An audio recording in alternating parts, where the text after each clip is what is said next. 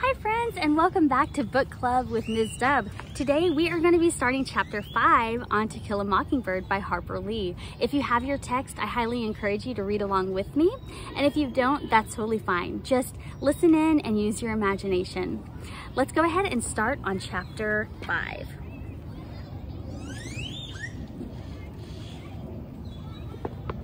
My nagging got the better of Jem eventually, as I knew it would and to my relief, we slowed down the game for a while.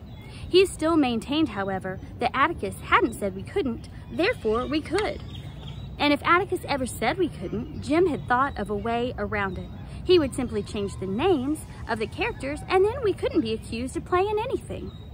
Dill was in hearty agreement with this plan of action. Dill was becoming something of a trial anyway, following Jem about. He had asked me earlier in the summer to marry him, then he promptly forgot about it. He staked me out, marked as his property, said I was the only girl he could ever love, then he neglected me. I beat him up twice, but it did no good. He only grew closer to Jem. They spent days together in the treehouse, plotting and planning, calling me only when they needed a third party. But I kept aloof from them, from I, but I kept aloof from their more, more foolhardy schemes for a while and on pain of being called a girl, I spent most of the remaining twilights that summer sitting with Miss Maudie Atkinson on her front porch.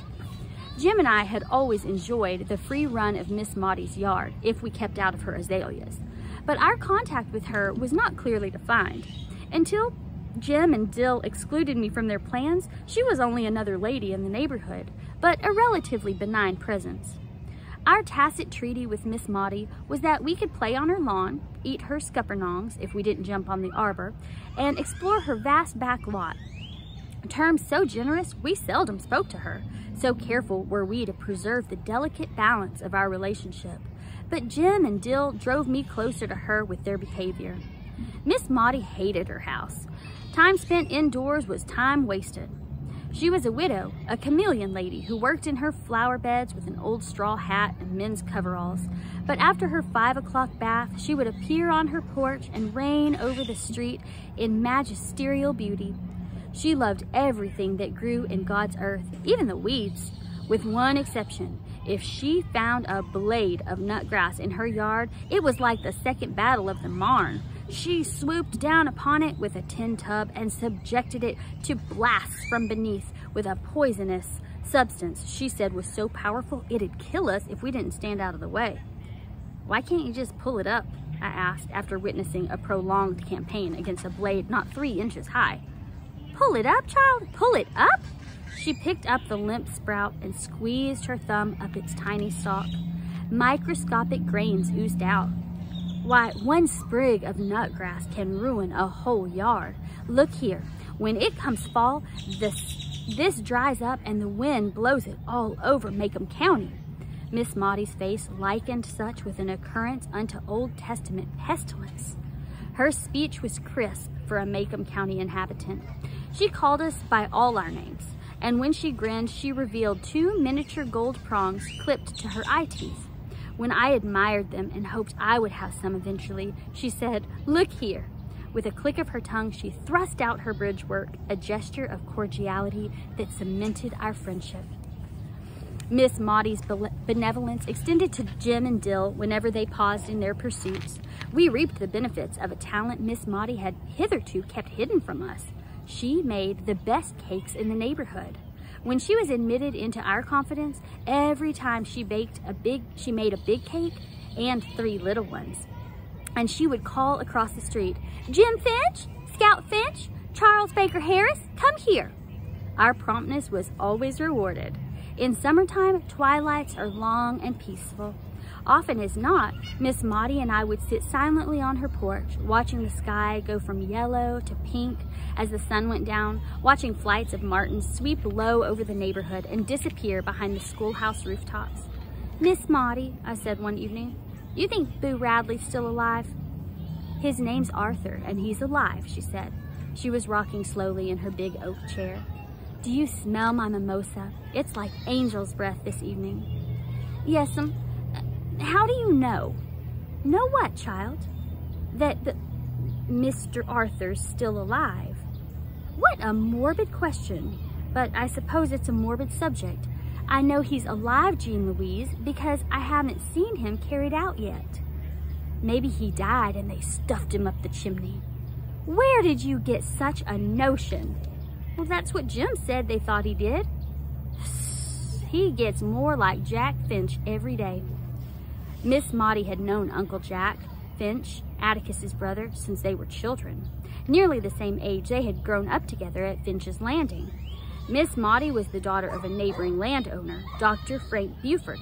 Dr. Buford's profession was medicine, and his obsession was anything that grew in the ground. So he stayed poor. Uncle Jack Finch confined his passion for digging to his window boxes in Nashville and stayed rich. We saw Uncle Jack every Christmas, and every Christmas he yelled across the street for Miss Maudie to come marry him. Miss Maudie would yell back, call a little louder, Jack Finch, and they'll hear you at the post office. I haven't heard you yet. Jim and I thought this was a strange way to ask for a lady's hand in marriage, but then Uncle Jack was rather strange. He said he had he was trying to get Miss Maudie's goat, that he had been trying unsuccessfully for 40 years, that he was the last person in the world Miss Maudie would think about marrying, but the first person she thought about teasing. And the best defense to her was spirited offense, all of which we understood clearly. Arthur Radley just stays in his house, that's all, said Miss Maudie. Wouldn't you stay in the house if you didn't want to come out? Yes'm, but I'd want to come out. Why doesn't he? Miss Maudie's eyes narrowed. You know that story as well as I do. I never heard why, though. Nobody ever told me why. Miss Maudie settled her bridge work. You know old Mr. Radley was a foot-washing Baptist. Well, that's what you are, ain't it? My shell's not that hard, child. I'm just a Baptist. Don't you all believe in foot washing? We do, at home in a bathtub. But we can't have communion with you all. Apparently deciding that it was easier to define primitive baptistry than close communion, Miss Maudie said, Foot washers believe anything that's pleasure is a sin. Did you know some of them came out of the woods one Saturday and passed by this place and told me me and my flowers were going to hell? Your flowers too? Yes, ma'am. They'd burn right with me. They thought I spent too much time in God's outdoors and not enough time inside the house reading the Bible. My confidence in pulpit gospel lessened at the vision of Miss Maudie stewing forever in various Protestant hells. True enough, she had an acid tongue in her head, and she did not go about the neighborhood doing good, as did Miss Stephanie Crawford. But while no one with a grain of sense trusted Miss Stephanie, Jem and I had considerable faith in Miss Maudie. She had never told on us, had never played cat and mouse with us. She was not at all interested in our private lives. She was our friend. How so reasonable a creature could live in peril of everlasting torment was incomprehensible. That ain't right, Miss Maudie. You're the best lady I know. Miss Maudie grinned. Thank you, ma'am. Thing is, foot washers think women are sin by definition. They take the Bible literally, you know. Is that why Mr. Arthur stays in his house? To keep away from women? I've no idea. It doesn't make sense to me. Look, looks like if Mr. Arthur was hankering after heaven, he'd come out on the porch at least. Atticus says God's loving folks like you love yourself. Miss Maudie stopped rocking, and her voice hardened. You are too young to understand it, she said. But sometimes the Bible in the hand of one man is worse than a whiskey bottle in the hand of, oh, your father. I was shocked. Atticus doesn't drink whiskey, I said. He never drunk a drop in his life. No, yes he did. He said he drank some one time and he didn't like it. Miss Maudie laughed. I wasn't talking about your father, she said. What I meant was, if Atticus Finch drank until he was drunk, he wouldn't be as hard as some men are at their best. There are just some kind of men who, who are so busy worrying about the next world They've never learned to live in this one, and you can look down the street and see the results. Do you think they're all true, all those things they say about Mr. Arthur? What things? I told her. That is three-fourths colored folks and one-fourth Stephanie Crawford, said Miss Maudie grimly. Stephanie Crawford even told me once she woke up in the middle of the night and found him looking in her window at her. I said, what did you do, Stephanie? Move over in the bed and make room for him? And that shut her up for a while. I was sure it did. Miss Maudie's voice was enough to shut anybody up. No, child, she said. That is a sad house. I remember Arthur Radley when he was a boy. He always spoke nicely to me, no matter what folks said he did. Spoke as nicely as he knew how. You reckon he's crazy? Miss Maudie shook her head. If he's not, he should be by now. The thing that happen, the things that happen to people, we never really know. What happens in houses behind closed doors, what secrets. Atticus don't ever do anything to Jem and me in the house that he don't do in the yard, I said, feeling it my duty to defend my parent. Gracious child, I was raveling a thread, wasn't even thinking about your father. But now that I am, I'll say this. Atticus Finch is the same in his house as he is on the public streets. How'd you like some fresh pound cake to take home? I liked it very much. Next morning, when I was awakened, I found Jem and Dill in the backyard deep in conversation. When I joined them, as usual, they said go away. Will not. This yard's as much mine as it is yours, Jem Finch, and I got just as much right to play in it as you have. Dill and Jem emerged from a brief huddle. If you stay, you've got to do what we tell you, Dill warned. Well, I said. Oh, well, I said. Who's so high and mighty all of a sudden? If you don't say you'll do what we tell you, we ain't, we ain't gonna tell you anything, Dill continued. You act like you grew 10 inches in the night. All right, what is it? Jem said placidly, we're going to give a note to Boo Radley. Just? I was trying to fight down the automatic terror rising in me. It was all right for Miss Maudie to talk. She was old and snug on her porch. It was different for us. Jem was merely going to put the note on the end of the fishing pole and stick it through the shutters. If anyone came along, Dill would ring the bell. Dill raised his right hand. In it was my mother's silver dinner bell. I'm going around to the side of the house, said Jem. We looked yesterday from across the street and there's shutter loose. Think maybe I can make it stick on the windowsill at least. Jem, now you're in it and you can't get out of it. You'll just stay in it, Miss Priss. Okay, okay, but I don't want to watch. Jem, somebody was, yes you will. You'll watch in the back end of the lot and Dill's gonna watch the front of the house and up the street. And if anybody comes, he'll ring the bell. That clear? All right then. What'd you write him? Dill said, we're asking him real politely to come out sometimes and tell us what he does in there. We said we wouldn't hurt him and we'd buy him an ice cream. You all have gone crazy. He'll kill us. Dill said, it's my idea. I figure if he'd come out and sit a spell with us, he might feel better. How do you know he don't feel good? Well, how'd you feel if you've been shut up for a hundred years with nothing but cats to eat? I bet he's got a beard down to here. Like your daddy's? He ain't got a beard. He... Dill stopped as if he was trying to remember. Aha, gotcha, I said. You said, for you were off the train, good, your daddy had a black beard. If it's all the same to you, he shaved it off last summer. Yeah, and I've got the letter to prove it. He sent me $2 too. Keep on. I reckon he even sent you a mounted police uniform. That'd never show up, did it? You just keep on telling him, son. Dill Harris could tell the biggest ones I ever heard. Among other things, he had been up in a mail plane 17 times. He had been to Nova Scotia. He had seen an elephant and his granddaddy was Brigadier General Joe Wheeler and left him his sword. You all hush, said Jem. He scuttled beneath the house and came out with a yellow bamboo pole. Reckon this is long enough to reach from the sidewalk? Anybody who's brave enough to go up and touch the house hadn't ought to use the fishing pole, I said. Why don't you go, why don't you just go knock on the front door?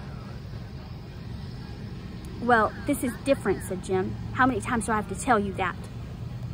Dill took a piece of paper from his pocket and gave it to Jem. The three of us walked cautiously down toward the old house. Dill remained at the light pole on the front center of the lot, and Jem and I edged down the sidewalk parallel to the side of the house. I walked beyond Jem and stood where I could see around the curve. All clear, I said, not a soul in sight. Jem looked up the sidewalk to Dill, who nodded.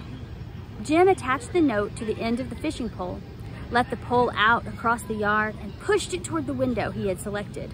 The pole lacked several inches of being long enough, and Jem leaned over as far as he could. I watched him making jabbing motions for so long I abandoned my post and went to him. Can't get it off the pole, he muttered. Or if I can get it off, I can't make it stay. Going back the, down the street, Scout. I returned and gazed around the curve at the empty road. Occasionally, I looked back at Jem, who was patiently trying to place the note on the windowsill. It would flutter to the ground, and Jem would jab it up until I thought if Boo Radley ever received it, he wouldn't be able to read it. I was looking down the street when the dinner bell rang. Shoulder up, I reeled around to face Boo Radley and his bloody fangs. Instead, I saw Dill ringing the bell with all his might in Atticus's face. Jem looked so awful, I didn't have the heart to tell him I told him so. He trudged along, dragging the pole behind him on the sidewalk. Atticus said, stop ringing that bell. Dill grabbed the clapper in the silence that followed. I wished he'd start ringing it again. Atticus pushed his hat to the back of his head and put his hands on his hips. Jem, he said, what were you doing? Nothing, sir. I don't want any of that. Tell me. I was... We were trying to give something to Mr. Radley. What were you trying to give him? Just a letter. Let me see it. Jem held out a filthy piece of paper. Atticus took it and tried to read it. Why do you want Mr. Radley to come out? Dill said, we thought he might enjoy us, and dried up when Atticus looked at him. Son, he said to Jem, I'm going to tell you something and tell you one time. Stop tormenting that man. That goes for the other two of you. What Mr. Radley did was his own business. If he wanted to come out, he would. If he wanted to stay inside his own house, he had the right to stay inside his own house free from the attentions of inquisitive children, which was a mild term for the likes of us. How would we like it if Atticus barged in on us without knocking when we were in our rooms at night? We were, in effect, doing the same thing to Mr. Radley. What Mr. Radley did might seem peculiar to us, but it did not seem peculiar to him. Furthermore, it had never occurred to us that the civil way to communicate Furthermore, had it never occurred to us that the civil way to communicate with another being was by the front door instead of a side window? Lastly, we were to stay away from that house until we were invited there. We were not to play an asinine game he had seen us playing or make fun of anybody on this street or in this town. We weren't making fun of him. We weren't laughing at him, said Jem. We were just... So that was what you were doing, wasn't it? Making fun of him? No, said Atticus, putting his life's history on display for the edification of the neighborhood. Jem seemed to swell a little. I didn't say we were doing that. I didn't say it. Atticus grinned dryly. You just told me, he said. You stop this nonsense right now, every one of you. Jem gaped at him. You want to be a lawyer, don't you? Our father's mouth was suspiciously firm, as if he were trying to hold it in line. Jem decided there was no point in quibbling and was silent. When Atticus went inside the house to retrieve a file he had forgotten to take to work that morning, Jem finally realized that he had been done in by the oldest lawyer trick on record. He waited a respectful distance from the front steps, watched Atticus leave the house and walk toward town. When Atticus was out of earshot, Jem yelled after him, I thought I wanted to be a lawyer, but I ain't so sure now. And that's the end of chapter five. I hope that you will go ahead and give a like to this video and please go ahead and hit that subscribe button if you haven't already and the bell notification so you'll always be um, notified every time I add a new chapter or start a new book. Um, thank you so much for joining me as we read To Kill a Mockingbird by Harper Lee and I can't wait to read again with you soon. Bye!